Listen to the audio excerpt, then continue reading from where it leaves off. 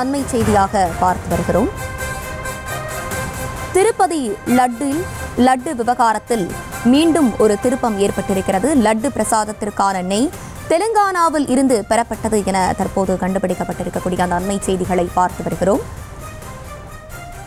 கூடுதல் விவரங்களோடு இணைகிறார் செய்தியாளர் பிரேம்குமார். பிரேம்குமார் வணக்கம். இது குறித்தான முழு விவரங்கள்.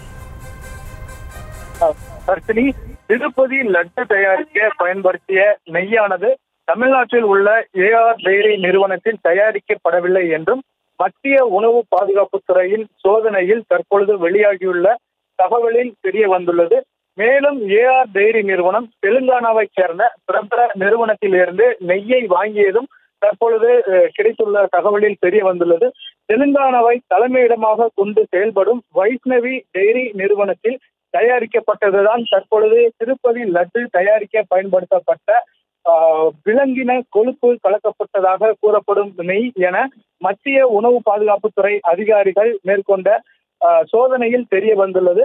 வைஷ்ணவி டெய்ரி நிறுவனத்திடம் நான்கு கண்டெய்னர் நெய்யை ஏஆர் டெய்ரி நிறுவனம் விலைக்கு வாங்கியதும் த- அதன் பின்னர் அதனை திருப்பதி தேவஸ்தானத்திற்கு இந்த ஏஆர் டெய்ரி நிறுவனத்தின் மூலமாக லட்டு தயாரிக்க அனுப்பி வைத்தது தெரிய வந்துள்ளது.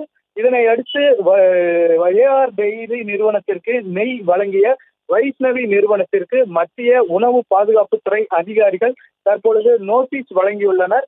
லட்டு சர்ச்சையில் சிக்கிய ஏஆர் டெய்ரி நிறுவனம் தொடர்ந்து மாசு கட்டுப்பாட்டு வாரிய அதிகாரிகள் மத்திய உணவு பாதுகாப்புத்துறை அதிகாரிகள் என பலரும் சோதனை நடத்திய நிலையில் தற்பொழுது தெலுங்கானாவைச் சேர்ந்த வைஷ்ணவி நிறுவனம் நெய் சேர்க்கையில் சிக்கியுள்ளது. தற்பொழுது கிடைத்துள்ள தகவலில் வெளியாகியுள்ளது அர்ச்சினி.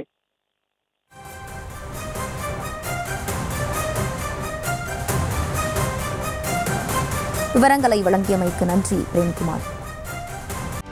செய்திகளை உடனுக்குடனும் துல்லியமாகவும் தெரிந்து கொள்ள சப்ஸ்கிரைப் பண்ணுங்க.